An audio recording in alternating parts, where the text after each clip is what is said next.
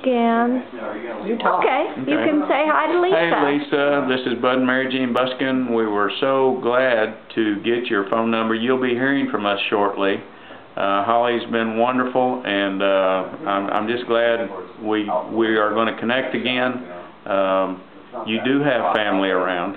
Uh, we're here. I know we're a ways away, but we will be contacting you and would love to see you and hear from you. So, uh, you look for a phone call before long. Hi, me too.